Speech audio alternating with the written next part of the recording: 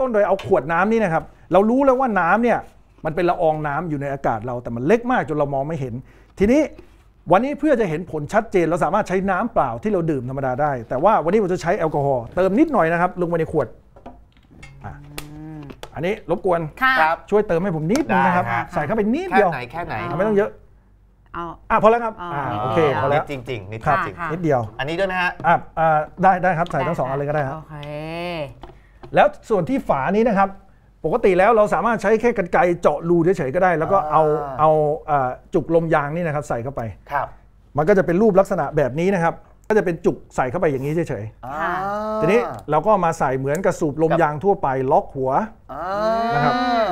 แล้วเราก็ปิดฝา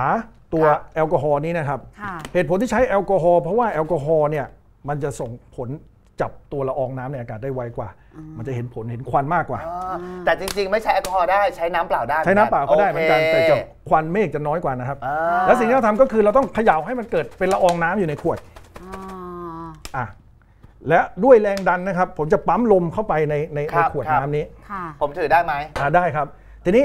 คุณลองจับดูนะครับ อันนี้เนี่ยตอนนี้ขวดมันยังนิ่มๆอยู่อ่าพอผมปั๊มลมเข้าไปเนี่ยขวดจะเริ่มแน่นขึ้นโอ้อืม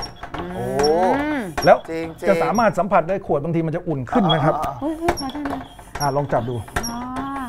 อ๋ออ่าอ่าอ่าอ่าอะมันแน่นขึ้นไหมครับ อะแล้วทีนี้ต้องมองดีๆนะครับ เพราะว่าค่ะ มันจะเกิดขึ้นเร็วมากอะขวดแน่นแล้วนะ ค่ะค่ะโอเคโอ้ยเห็นไหมอะนี่ลองบีบดู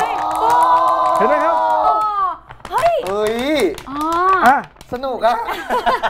ใครอยากลองไหมครับอยากลมาองอะได้ อยากลองเอออะ เอ้ยนี่เฮ้ย ยังไม่หมดเลยยังไม่หมดสนุเลกย ใช่เราสามารถเขย่าแล้วก็ทำซ้ำได้นะครับ อ๋อ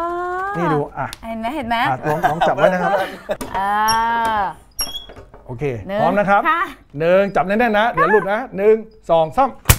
โอ้ยเห็นไหมเห็นไหมครับ อุ้ยเป็นเลขจริงๆด้วยนี่เอออุ้ย อะ